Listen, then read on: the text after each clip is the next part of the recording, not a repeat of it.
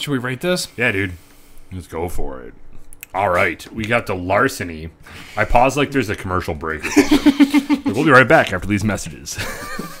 All right, so we got the larceny, uh, Kentucky straight bourbon whiskey. This is a high, like a wheated bourbon. So what we mean by wheated, and if you tuned into the Hartman's bourbon talk, we talked about this. So this is something that next month, if we're still doing it on Zoom, definitely attend because there's a ton of information in there that you can use. It's uh, an amazing, amazing content. But the mash bill for this specific bourbon is 68% corn, which is required for bourbon, more than 51%, 20% wheat, so it's a very high wheated bourbon, and then 12% mal- malted barley. So label branding, Mike, what are you giving it? A plus plus. A plus plus. Same. I like that. Again, just because of the name, that it's fully embracing the whole start of this whole distillery where he would just go in with the keys and steal some larceny and then the logo is a key like, and a keyhole. It's just very consistent. I like that stuff. It gives me closure. It doesn't make my brain hurt.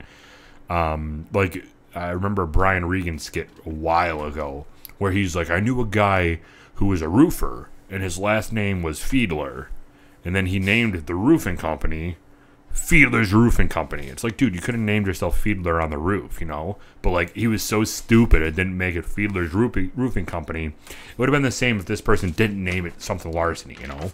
Like, you had such a colorful story to get to this point, and you're going to completely abandon it. Like, that's not cool. So I like that. That gives me closure.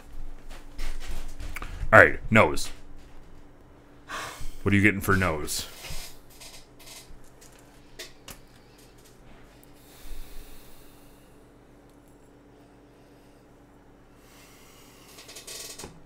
Little toffee, little vanilla.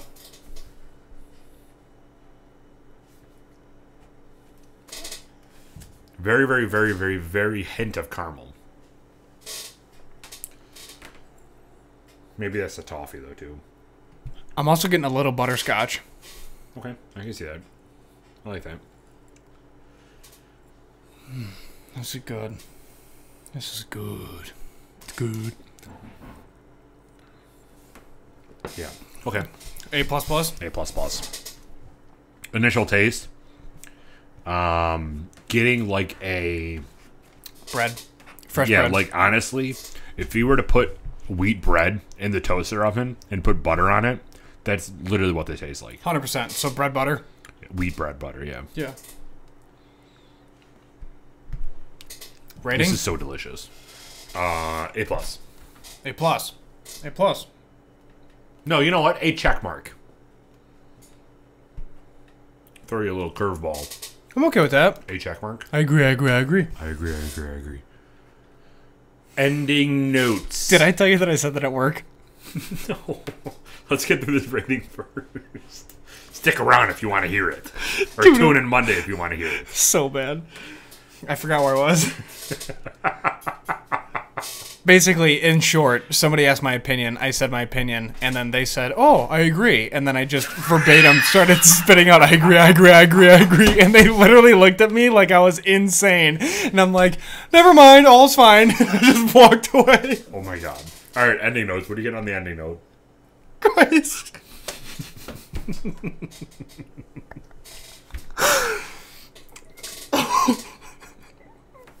Wedding note or wedding note? Wedding? Ending note. I'm getting. And we talked about this during the bourbon talk. I'm getting like a, a wet grass on the ending note. That's what I can feel going down. Wet grass, and I'm also getting caramel. Wet caramel grass. Yes. Rating? It's an A for sure. There's no Yeah, doubt. Yeah. A plus plus check mark. Sure. So. White grass and then caramel. And like whiskey tastes are so weird. Like you, the notes that you're picking up, it might not sound appetizing to you. Like wet grass doesn't seem very appetizing to anybody, but But when you It's taste delicious. it, yeah, you're you're gonna be reminded of the wet grass, but it still goes down so delicious. Mm. Whiskey's very, very interesting. I'm obsessed with it. Clearly. Ooh, this is very good. Rating. Drop that countdown. Three, two, one.